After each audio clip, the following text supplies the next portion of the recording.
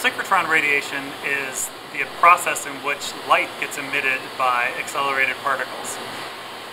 Usually these are charged particles uh, like electrons. Uh, an example that we know from uh, uh everyday life is radio waves. As uh, electrons are accelerated up and down a radio antenna, they will emit light in the form of radio waves. This is very low frequency light. Light, of course, can go all the way up uh, through the infrared, the visible, the ultraviolet, and up into the X-ray. Here at the Advanced Light Source, we, we create uh, electrons going at very high energies uh, to be able to accelerate them to get light up in the X-ray regime. Here on my right is, an, uh, is the electron accelerator.